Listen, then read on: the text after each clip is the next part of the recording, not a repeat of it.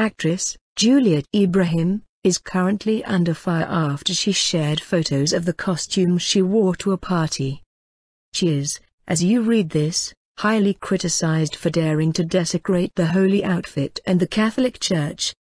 Apparently, the mother of one, dressed as a sexy Catholic nun, to the party for charity, which was held at a club in Accra, Ghana. Others at the party were the actress's boyfriend, rapper Iceberg Slim who also looks weird in his own costume, the actress's family, Nabil Ibrahim, Sonia Ibrahim, and Nadia Ibrahim. Sister Juliet is out for the night to raise funds for charity Club Onyx join me and let's save a life. Hash Juliet Ibrahim Foundation Hash New Al Costume Party Hash Halloween Hash Charity Hash Costume Hash Let's Save Duke Hash Donate Hash Good Cause Hash Party for Charity If you don't have costumes you can get mask at the gate.